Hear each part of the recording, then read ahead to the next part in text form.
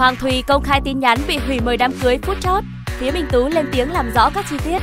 Hôn lễ quy tụ nửa showbiz của Minh Tú thu hút sự chú ý của công chúng suốt mấy ngày qua.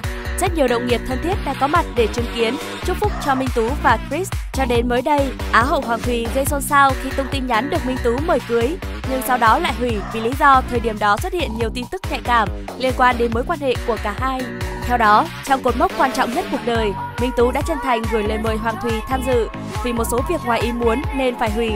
Sau hôn lễ của Minh Tú, Hoàng Thùy cũng gửi lời nhắn. Nhiều bạn có nhắc đến tên Thùy không dự đám cưới của Tú, up tin nhắn cho mọi người biết là mình có được mời ạ. À. à, chắc Tú bận quá nên tin nhắn cuối cùng chưa thấy đọc, nhưng không sao. Mình chúc Minh Tú hạnh phúc và vui vẻ nhé. Phía Minh Tú phủ nhận thông tin nữ siêu mẫu hủy mời Hoàng Thùy trước một ngày diễn ra tiệc cưới. Liên quan đến sự việc, đại diện Minh Tú chia sẻ, Tú và Thùy đều rất nice trong việc này, nhưng vì một số lời bàn tán không hay nên việc bảo vệ bản thân của Thùy trước những bình luận tiêu cực, những thông tin không đúng là hợp lý. Bản thân Tú cũng quá bận rộn với việc chuẩn bị cưới nên cũng không có đối đáp tiếp theo với Thùy. Mà Tú làm leader cái lễ cưới này thì chắc 100 cái group làm việc với 100 team.